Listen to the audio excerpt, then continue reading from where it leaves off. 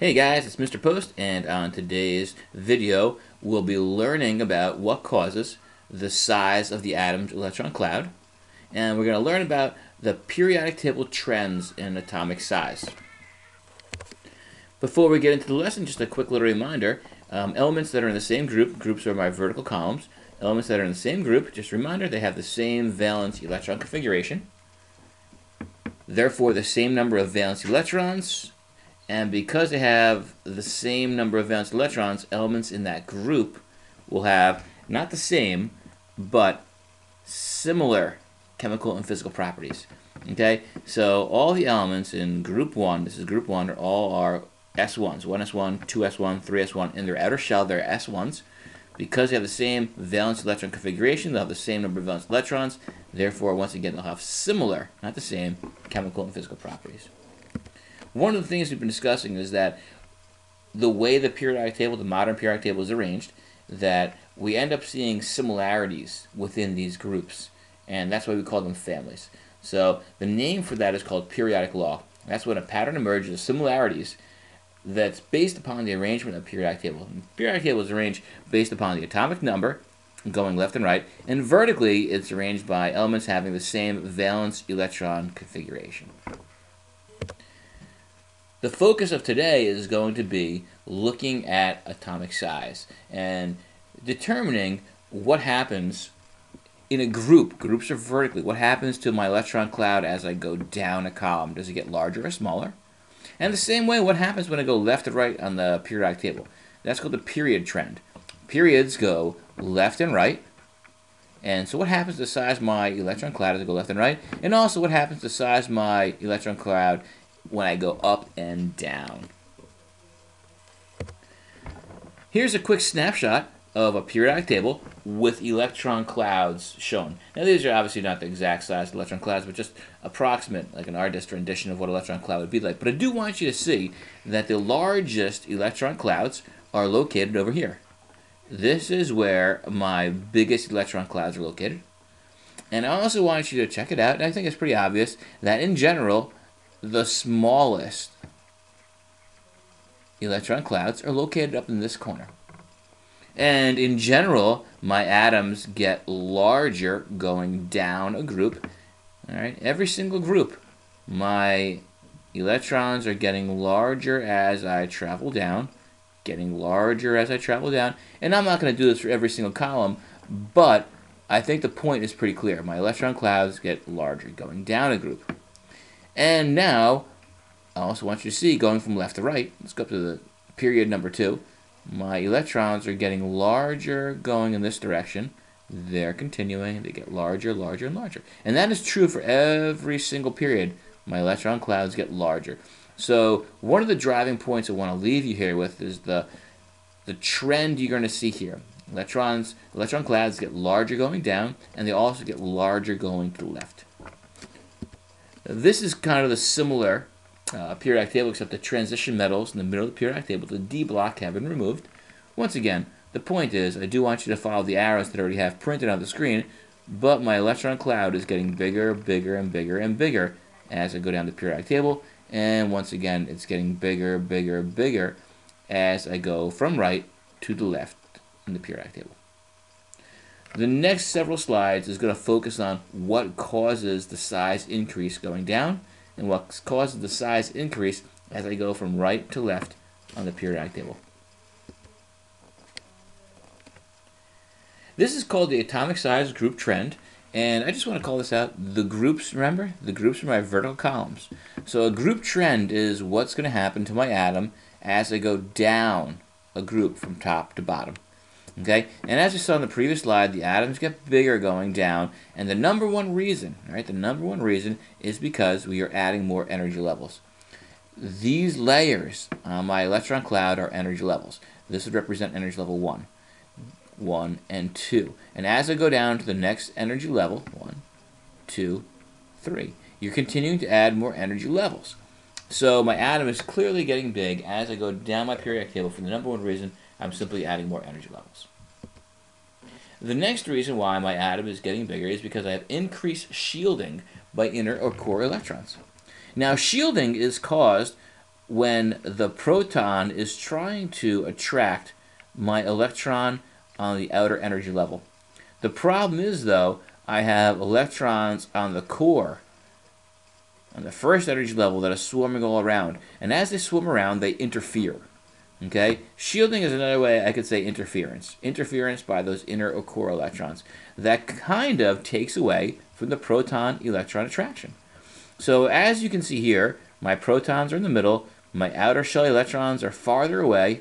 There is this attraction between the two, but the problem is I have all these electrons on the second energy level that are going around and around in circles, and the same with these guys here on the first energy levels.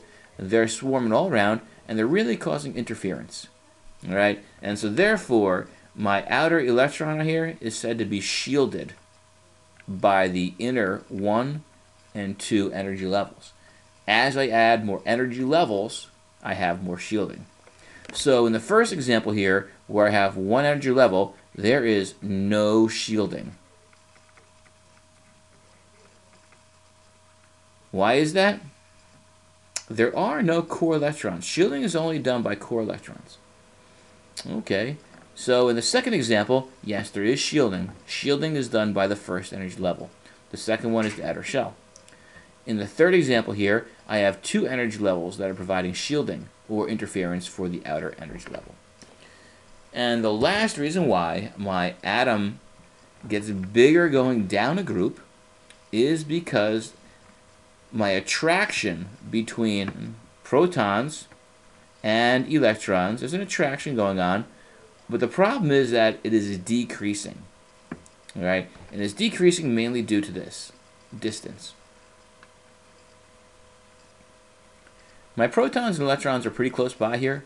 There's a very strong attraction between the two. As I go down a group, I add more energy levels. My electrons on the outer edge are definitely farther away. And as I continue to go down, my distance between the nucleus and the perimeter of my cloud is increasing. And as you increase your distance, you decrease your attraction just once again, there is clearly a negative, positive attraction going on here. These guys want to be pulled close together. So the farther they are apart, the less strong is their attraction. Okay, once again, kind of in review here. Yeah, my atom gets bigger going down a group for three reasons. Three reasons were adding more energy levels, one energy level, two energy levels, three energy levels. I'm not going to continue on, but I think you get the, the picture. I also have sh increased shielding as I go down by the inner or core electrons. And lastly, there is a decrease in attraction due to the distance away from the nucleus. A period trend is a left-right trend. So we saw before that my atoms were getting bigger as I went from my left side of the periodic table to the right side. And this is a period trend. Periods are my horizontal rows. My atom, or my electron cloud, is getting smaller as I go to the right. There's only one reason for this, and the word is increase nuclear charge. Nuclear charge is another way of saying the number of protons. All right, the protons are really strong. All right, so as I go towards the right on my periodic table, and I'm going to just draw a, mini periodic table right here. As I go this way, my protons are increasing. And as my protons increase, they attract my electrons a lot stronger. When they attract electrons a lot stronger, they pull the electron cloud in tighter, making a smaller electron cloud. So once again, I'm getting a smaller atom as I go to the right. Why? Because I'm adding more protons. More protons means more nuclear charge. That increased nuclear charge increases my proton to electron attraction, making a smaller electron cloud. So as you see over here, Lithium is element number 3. This is element number 4. Wow, that kind of went crazy there. As I increase from 3 protons to 4 protons, all the way over to 10 protons over here, my electron cloud is going to shrink in size. I also want you to notice, and I'm going to draw a picture right here. It's not going to be a great picture, but I am, on period number 2, I have two energy levels. And as I go across period number 2, I am not adding new energy levels. All I'm doing is filling electrons on the same exact energy level. So I'm not adding anything new here. So my electron cloud is not getting larger by any means. It's kind of like I'm putting more occupants on the same floor of a hotel. The distance away from the nucleus is not getting bigger as I add these electrons, and in fact, it's the opposite. It's getting smaller because I'm adding more protons to the nucleus. And that results in an increased pull towards the middle. It's going to pull the electrons towards the positive core. So my atomic size trends on a periodic table, the trends we see, in summary, are my atoms get larger going to the left across my periods and larger going down a group from top to bottom. Okay, guys, we got a couple assessment questions to make sure that you understood the lesson. I think these are very important. Please do your best to try, uh, try to solve these. If you need to, press the pause button. Take a second and answer these, and I'll come right back with the answer. Okay, so use the pause button if you're intending on using uh, these assessment questions as a true assessment of if you've learned this lesson. All right, the first question. Shielding is based on the number of, here we go, press pause. Shielding is based on the number of core energy levels. Once again, here we go. There was no shielding when I had one energy level because there's no core electrons. Well, as I add more core electrons, I have shielding now by my inner core. And as I continue to add electrons, and this should really be, I don't want to confuse you here, this should be going down my periodic table. My picture was kind of showing it going across. It wasn't what I intended to do. But as I go down the group, I am adding more core energy levels. The outer one is considered my valence energy level. So I do want to erase these. I don't want to confuse you at all. So the shielding is based on the number of core energy levels. Which atom has more shielding by inner or core electrons? Take two seconds, give it a shot. What I've done is drawn pictures of the number of energy levels in those in those atoms. Fluorine has two energy levels, therefore it only has one core energy level to provide shielding. Bromine has four energy levels, therefore it has three energy levels to provide shielding from the nucleus. So which atom has more shielding? That is going to be bromine. This question is tricky. Please take your take time to answer correctly. Once again, shielding is caused by inner or core energy levels. Which atom has more shielding by the core electrons? Press pause, give it a shot.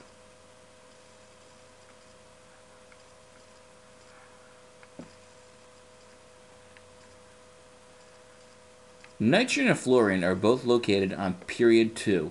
That's the second row of the periodic table. When you're located on the second row of the periodic table, all you're doing is placing electrons on the exact same energy level. So really, in this case, this is a trick question. Which atom has more shielding? Neither has more shielding. They both have the same shielding. They both have the same one energy level as your core. That core will shield the outer electrons or cause interference.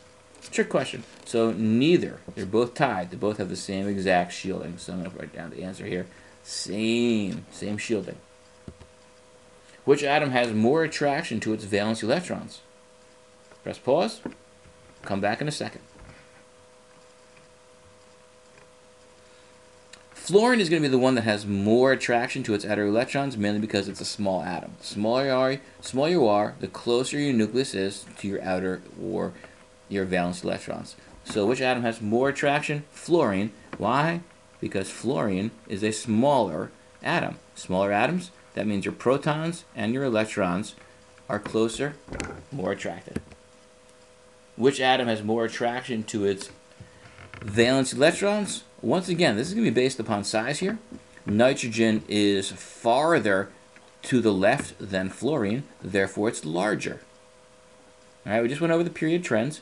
Nitrogen is to the left, therefore the larger atoms are to the left. So once again, fluorine is going to win in this case. It is definitely a smaller atom. Smaller atoms have their protons closer to the outer valence electrons, stronger attraction.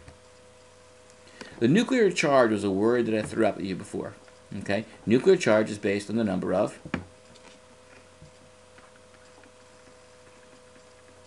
protons.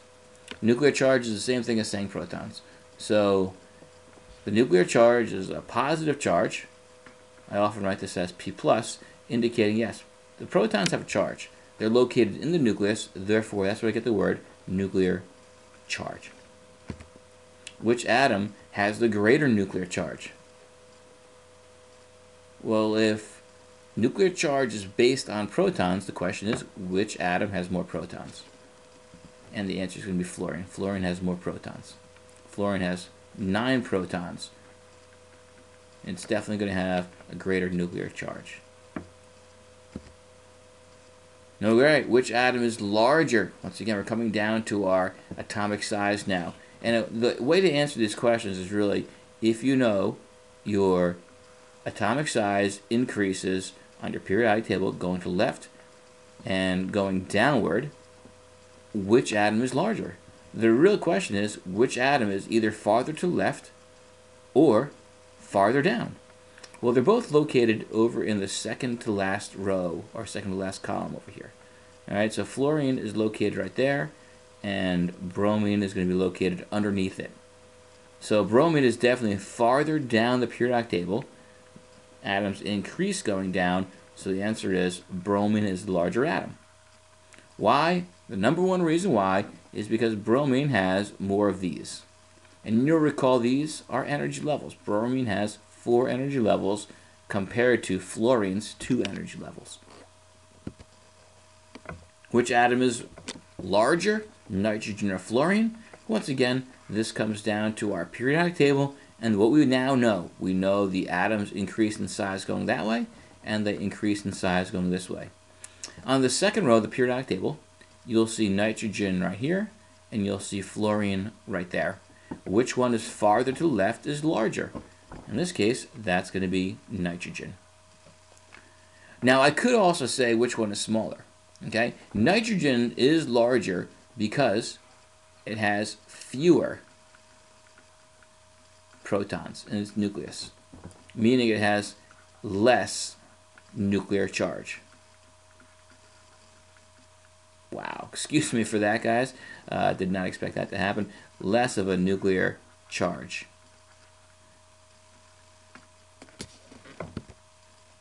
And lastly, I just want you to be able to take a periodic table and say, draw me the trends for atomic size. And I want you to be able to say, my atomic size gets bigger going this way. I'm now comfortable knowing that my atom gets larger as I go from the right side to the left side in any period. And also it gets larger as I go down Alright, so as I go down my periodic table, the atomic size always gets bigger, and as I go from right to left, my atomic size will get bigger as well. That's all, guys. Hope it was helpful. Enjoy.